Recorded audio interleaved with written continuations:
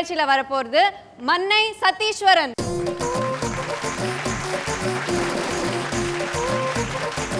நம்ம Indian cricket டீமில் நம்ம பாடகர்கள் எல்லாம் உள்ள ஃபீல்டிங் பவுலிங் பண்ணால் எப்படி இருக்கும்? ஒரு சின்ன கற்பனை. முதல்ல நம்ம டிஎம்எஸ் ஐயா உள்ள இருந்து ஃபீல்டிங் பண்ணுறாங்க எங்கே பந்து பந்து எங்கே பந்து வரும் எங்கே பந்து வரும் அங்கே எனக்கு ஓரிடம் வேண்டும். அங்கே எனக்கு ஓரிடம் வேண்டும்.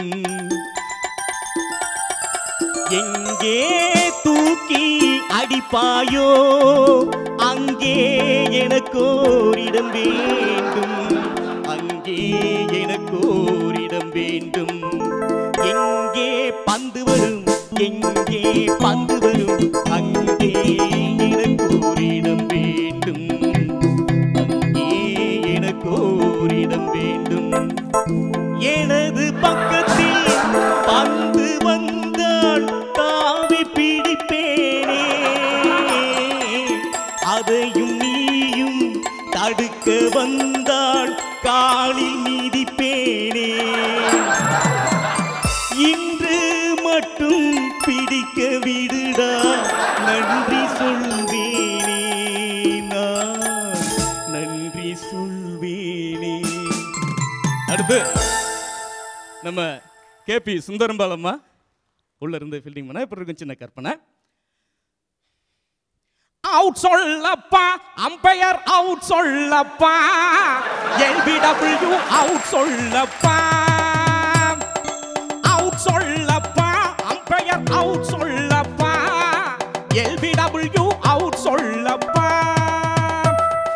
முட்டி மீது கால் முட்டி மீது பட்டு செல்லும் பந்தை நீ பார்த்து பார்த்து அவுட் சொல்லப்பா.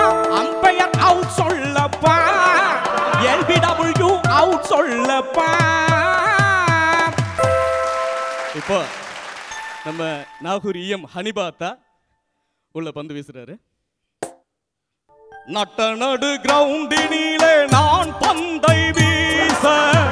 அந்த பந்தை பேட்ஸ்மேனும் ஒரு சாத்து சாத்த. சிக்ஸருக்கு போனதையா?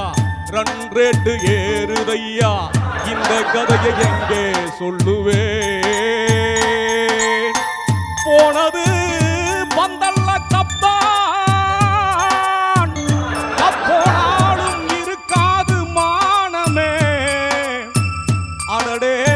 தோனி கலங்காதே.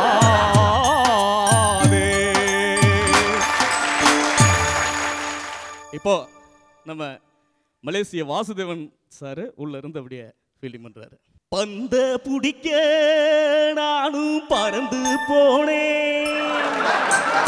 போனனே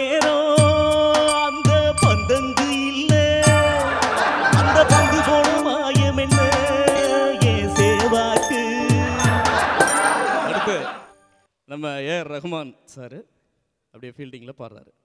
உத்தப்பா உத்தப்பா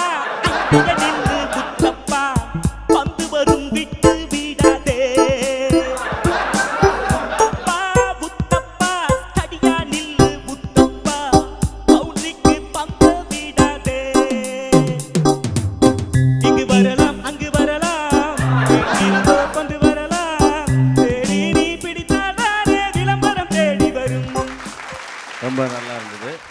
அருமையான ஒரு பாடல் மிமிக்கிரி கற்பனை. Give a big hand to this artist என்ன டைரக்டர் சார் உங்களுடைய இது கருத்து ரொம்ப. நாளைக்கு அப்புறம் மனசு விட்டு சிரிச்ச ஒரு நிகழ்ச்சியா இருக்கு. ரொம்ப ரொம்ப பிரமாதம் நானே எக்ஸ்ட்ரானரியா இருந்துச்சு. நன்றி நன்றி ரொம்ப பிரமாதம். ரைட்